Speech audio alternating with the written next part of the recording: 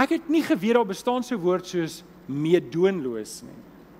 Spreek ek dit reg uit? Meedoenloos.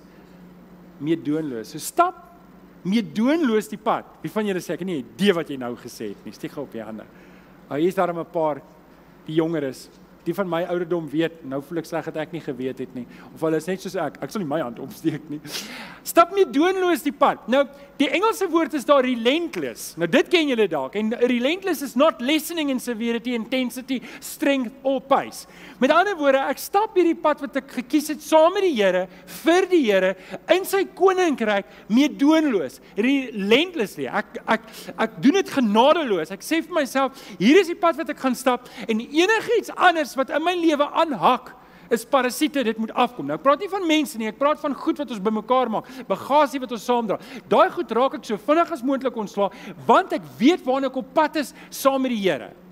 Spreuke 4:27. Moenie links of regs afdraai nie, weerhou jou van die verkeerde koers. Ek weet waar ek moet wees, ek weet waarna ek op pad is en ek gaan nie toelaat dat goed in my lewe toegelaat word wat my kan teruggaan nie. Nou, dit kan wees dat ons baie keer sê ek weet wat die regte ding is om te doen en ek sal dit môre begin doen. Weet julle wat is die probleem daarmee? Nou voel ek half sleg want ek weet ek moes al by Tersius uitgekom het met my papiere. Sorry Tersius. En ek stel self uit. Um ons stel uit. Ons stel uit. Ons weet ons belangrike goed. Die papiere lê op ons lesenaar Tersius en ek sê maar ek sal môre.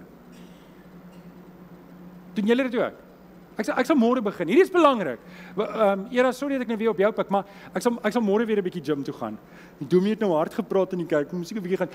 En, en en dis wat ons doen met die Here se goed ook. Nee, ek weet ek moet, maar my lewe is net nou te besig. Daar's net nou te veel goed wat in my lewe aangaan en so gebeur dit dat ek nog 'n dag, nog 'n week, nog 'n maand, nog 'n jaar uitstel wat ek net eintlik aangaan op 'n pad wat ek weet die Here nie wil hê ek moet opwees nie. En daarom moet ek vandag begin. Ek moet ek moet vandag agterkom saam met die Here. Ek moet tyd maak en vir party van ons sal dit behels dat ek dalk 'n week moet uitsit in my program wat ek elke oggend vir die Here gaan sê en sê Here, hierdie pas waarteen ek lewe, bring nie vir u eer nie. Hierdie pad wat ek besig is om te stap, dit verteenwoordig nie my verhouding met u en die kruis van die Here Jesus en dit wat Jesus Christus vir my aan die kruis kom. Dit verteenwoordig dit net nie. Ek is op die verkeerde pad en ek moet dit regmaak. En en ek en jy moet daai tyd maak in gebed om vir die Here te sê, Here, help vir my. En as ek dit weet, dan moet ek 'n pen in die grond kap en sê van vandag af verander. Nie môre nie, van vandag af verander.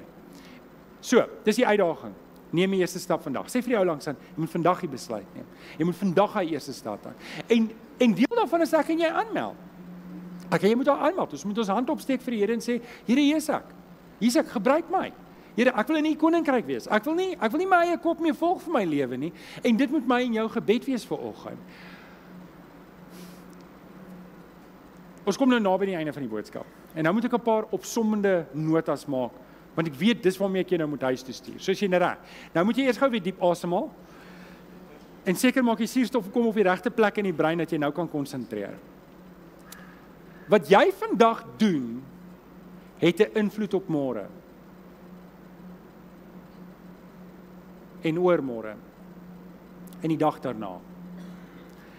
Wat ek en jy vandag doen maak saak. Sê vir die ou langs in dit maak saak.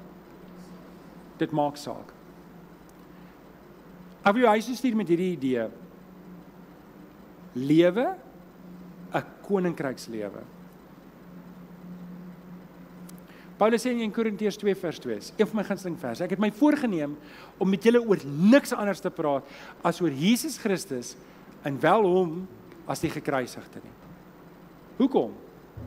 Paulus sê ek skaam my nie oor die oor die evangelie nie want dis die krag tot redding vir elkeen wat glo. Ek en jy moet 'n koninkrykslewe leef. Ek en jy moet fokus op dit wat werklik belangrik is. Ons het al die ding gedoen wat ons gesê het, kom ons verbeel onsself ons het 'n 1000 jaar reunie. 'n 1000 jaar reunie. En ons kan nou terugkyk. Kom ons sê dis nou daai 1000 jaar reunie en ons kyk terug. Wat was regtig belangrik geweest? Wat was werklik belangrik geweest? Nou kyk ons vorentoe en sê kom ons fokus op dit.